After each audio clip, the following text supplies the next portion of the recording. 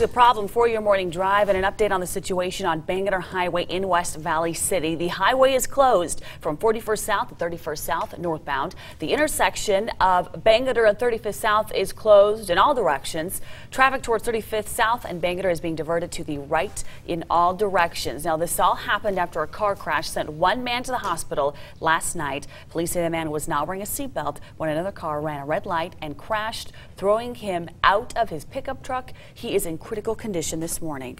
Ran the red light going northbound, is what the witness is saying, hit the red truck behind me here that was going west to make a left turn to go south.